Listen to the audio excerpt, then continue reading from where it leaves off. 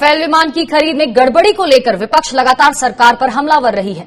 कांग्रेस के पूर्व अध्यक्ष राहुल गांधी रफेल की कीमतों को लेकर लगातार सरकार को घेरते रहे हैं क्योंकि भारत ने उनसठ हज़ार करोड़ रुपए में महज 36 रफेल विमान खरीदे हैं। रफेल की अधिकतम स्पीड आपको बता दें 2130 किलोमीटर प्रति घंटा है और इसकी मारक क्षमता 3700 किलोमीटर तक है।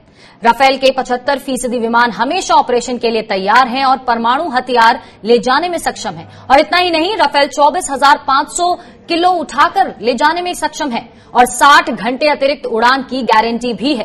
साथ ही मेटेयर मिसाइल से भी लैस है और ये एक मिनट में साठ हज़ार फुट की ऊंचाई और साढ़े चार जेनरेशन के ट्विन इंजन से लैस है। अफ़गानिस्तान और लिबिया में अपनी ताकत का प्रदर्शन कर चुका है और ये दो इंजन वाला लड़ाकू विमान, जो भारतीय वायुसेना की पहली पसंद है, हर तरह के मिशन में भेजा जा सकता है। चलिए, बातचीत करने के लिए हमारे साथ retired brigadier RP Singh ji जुड़ चुके हैं। आरपी सिंह जी बहुत बहुत स्वागत है आपका स्वराज एक्सप्रेस में। सर, सबसे पहले तो यही जानना चाहेंगे कि इस वक्त भारत के लिए क्यों ज़रूरी है ये रफेल लड़ाकू विमान और किस तरह से भारत की वायु की जो क्षमता है, वायुसेना की जो क्षमता है, उसको बढ़ाएगा ये? हर एक मुल्क जो है अपनी सेना के लिए टेक्नोलॉजी को अपग्रेड करता है। आज जो है फिफ्थ जनरेशन एयरक्राफ्ट की बात हो रही है इसमें के एयरक्राफ्ट हैं। और एवियोनिक्स के साथ बहुत ही ज़्यादा सजे हुए हैं। They are very capable of fighting they are capable of stand off fighting एक दो सौ, तीन सौ किलोमीटर की distance they can fight out इस प्रकार से हमारे लिए बहुत ही आवश्यक है, क्योंकि हमारे पिछले तकरीबन तीस साल के बाद ये जब छोड़ा है नया एयरक्राफ्ट तीस साल से पुराने सब सब के सब जो है थर्ड जनरेशन सेकेंड जनरेशन के एयरक्राफ्ट हमारे पास आ सकते उनको अपडेट करवा लिया यूनिट लगा के उसमें।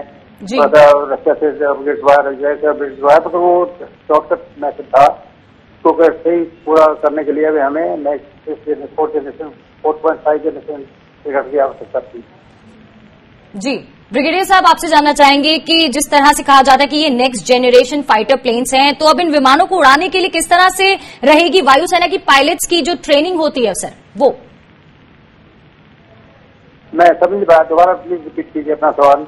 सर कहा जाता है कि ये नेक्स्ट जेनरेशन फाइटर प्लेन्स हैं, साढ़े चार जेनरेशन की पीढ़ी के फाइटर प्लेन्स हैं। तो जब इनकी ट्रेनिंग किस तरह से दी जाती है जो वायुसेना के जो पायलट्स होते हैं, उनकी? देखिए ट्रेनिंग तो हर एक अवेयरनेस जो है इंस्ट्रूमेंट जितने उनको ऑपरेट करने की आवश्यकता होती है, उसकी ट्रेनिंग वहाँ पे हो चुकी है फ्लाइंग ट्रेनिंग हो चुकी है। अब जो उनको फेबलाइज करना है एयरक्राफ्ट के अंदर के उसको किस प्रकार से इस्तेमाल करना अपने यहाँ पे अडेप्ट करके बिकॉज़ हमारे पास ऑलरेडी सिस्टम है। जी। टू थर्टी फाइव है हमारे पास क्या नाम मिराज है हमारे पास ट्वेंटी वन है ट्वेंटी नाइन है। तो इनको भी सेम वीक में इसको जिस तरह फोकस करना है उसकी एक मेन ट्रेनिंग की आवश्यकता भी है।